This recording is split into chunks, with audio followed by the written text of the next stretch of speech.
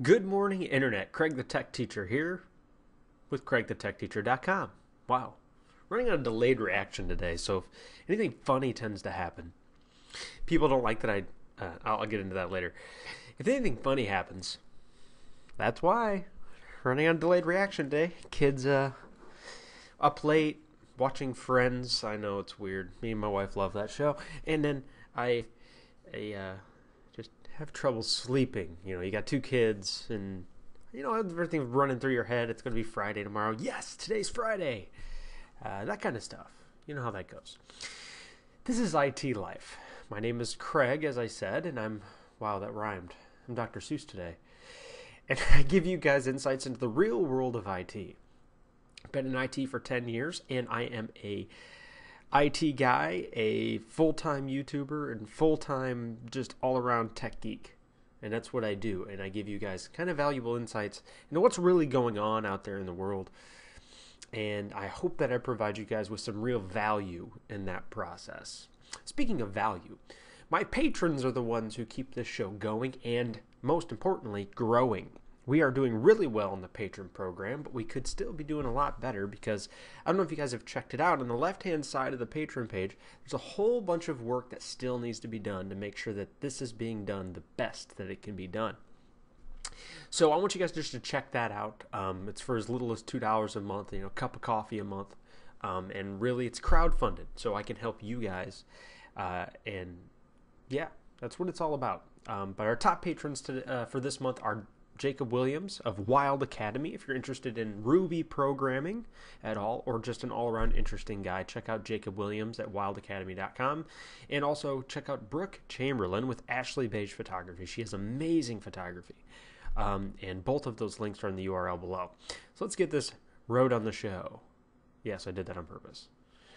I got a question today, a patron question from Joe Ray. Um, he said, I had an issue I wanted to ask your opinion about. The last couple of days, when I went to my bank site, I received a warning that it was unsafe, that it may be an imposter.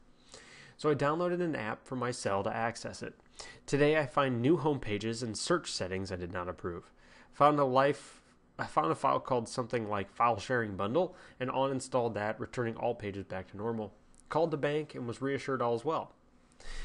Next I plan to scan with MSE. Okay. Well, you did your due diligence, Joe. Ah, these phishing scammers, man, they're so good at what they do now. And if you guys can become victims of this counterfeit stuff anymore, it does not surprise me. It these people have gotten so good at what they do, uh, and it's what they do. That's their job. By the way, you there literally are thousands of people sitting at their desk devising new ways to rip people off. I know, you know, I know it sounds depressing, but that's that, that's what they do all day long. And uh, what they do is they create called a phishing scam, which sounds like you ran into, where they they're like, okay, well we'll get this virus on their machine, and then when they go to these bank account addresses, we'll redirect them to a page that looks like their bank. Um, or they'll they'll drop your bank page in a like a layer on top of your actual, or they call them iframes, on top of a fake capturing page, so that when you enter your username and password, they can grab that. Um, and it's it's an old technique. It's not like it's anything new, but they've just gotten better at making it really, really look legit. Uh, you did your due diligence. You did the right thing. You said, okay, red flag. Um, and what that did is it basically uh, it was telling you that there was something funny about the way that the domain was set up and in the way that it was registering your uh, security ticket. And it was just throwing up that flag. It may be an imposter. So you did your due diligence. You download the app instead, and you called the bank, making sure there's nothing wrong on their end. Uh, so obviously there's something on your machine, given that you have file share bundle. So how do you deal with this? Well, there is a magical program out there, completely free, um, and it's at my website in the free download section. It's called Malwarebytes Anti-Malware, and it is a wonderful tool for taking care of problems such as these. Uh, when you go to my site, just download it and run a full scan completely free, like I said, and it's amazing. Uh, and it will probably find and eliminate whatever it is that you have on your computer. One more thing, though, that you want to make sure that you're doing uh, when when you look at your home pages, how they've been reset and everything. Uh, what I'll usually do is I'll go into the actual control panel and I'll see all of your installed programs like you did, and just see if anything just sounds or looks funny and use Google. Google is your friend. Uh, it's a big friend for things like this because if something's familiar to you, you can always Google it. Remember, it's the ultimate research tool. So then Google the programs that are suspicious, see if they're legit or not. Um, and then after you've done that, of course, you want to make sure you have a decent antivirus. Uh, and, and, like I said, you're the best antivirus. Um, I still suggest people look into maybe getting Avast free. They're getting shaky now, but uh, it's still a good product for being free. Uh, if you want commercial, go with Kaspersky or NOD32 or Norton. Norton makes a great product now. So then after that, after that, that second step of the antivirus, um, then you want to go into your browser settings. Uh, check your extensions, check your plugins, especially if you're on Chrome, check your extensions. If you're on Firefox, check your plugins. If you're on Internet Explorer, stop getting on Internet Explorer and use uh, Google Chrome. Um, but go into your extensions, make sure nothing got installed. Now, there's an advanced uh, layout of your extensions as well. If you type into your search bar in Chrome about A B O U T and then type in a colon, slash slash and type in plugins. Let me try it out here just so I know I'm not giving you about plugins.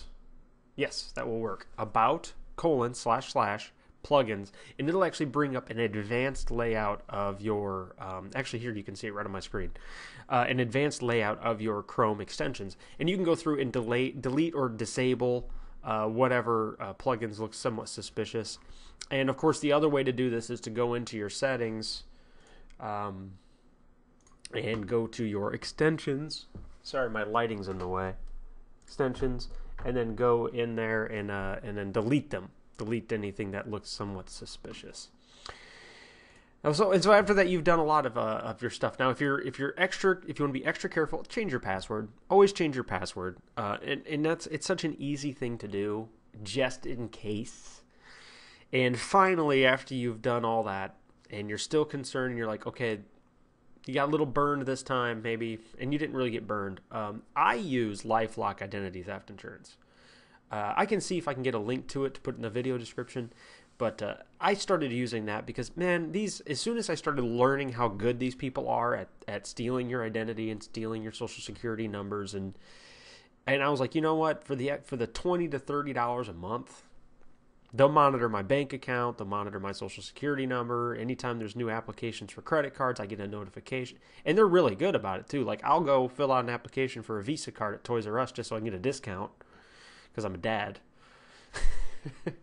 and and literally within 24 hours, no, within hours of filling out that application and them submitting it, I'll receive a text or an email asking them to verify that I actually opened that credit. And if I don't answer that immediately, they will call me and tell me, "Hey, log into your account. There's been activity on your credit." And you know, it sounds annoying, but how often does that happen? How often do you apply for new credit? Maybe once a month, once every two months. Uh, but it does that. It monitors my bank accounts. It monitors all that stuff, and it covers it if something happens.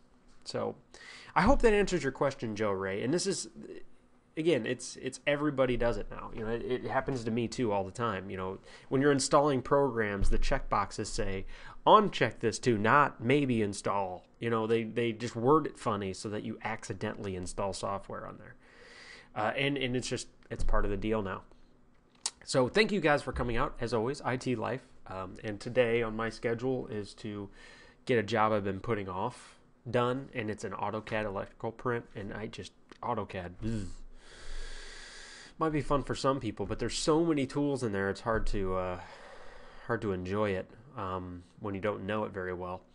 Uh, so I have to put a print together for a customer. That's somewhat fun. But we're doing awesome on the expo. We have uh, like 35 registrations. That's like almost triple what we had last year at this time. So it's it's going really well here in the office. So thank you guys for coming out yet again. Remember, and thank you patrons for for keeping this show going and growing. Uh, there's a lot of great things we can still implement into the future. So I'm hoping we keep getting more and more patrons on the hook. If you can't be a patron right now, I understand completely. Um, and there's a way to donate through PayPal as well if you're not in a position to do the monthly thing. Um, but uh, I understand completely. It, it it depends on whether you find the value there and whether you have the money. You know, I get it. You know, I'm a dad. Thank you guys for coming out. I'll see you in the next video.